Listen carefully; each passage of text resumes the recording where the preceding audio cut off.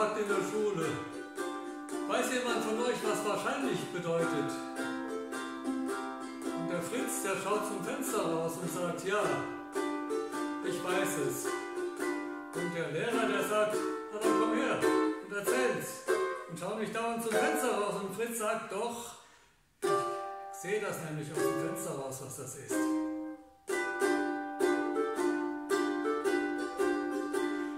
Magd, sie geht zur Scheune und sie grinst so froh. Die Magd, sie geht zur Scheune und sie grinst dabei so froh.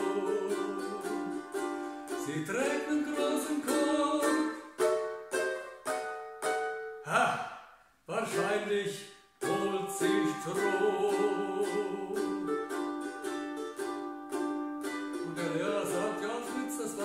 Schlecht. Weißt du vielleicht noch ein Beispiel,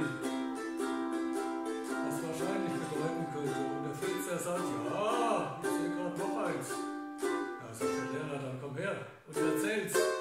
Und der Fritz fängt an, ja, das ist nämlich so.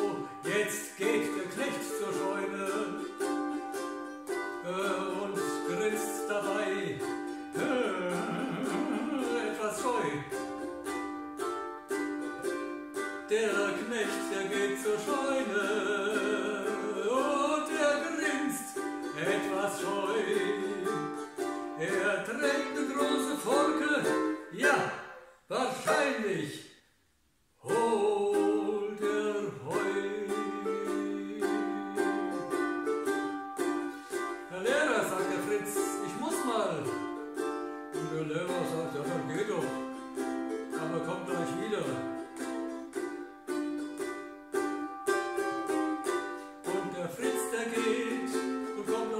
Bald wieder und sagt, Herr Lehrer, jetzt weiß ich noch was, was wahrscheinlich bedeuten kann. Die Magd liegt tot am Boden, der Knecht auf ihrem Bauch.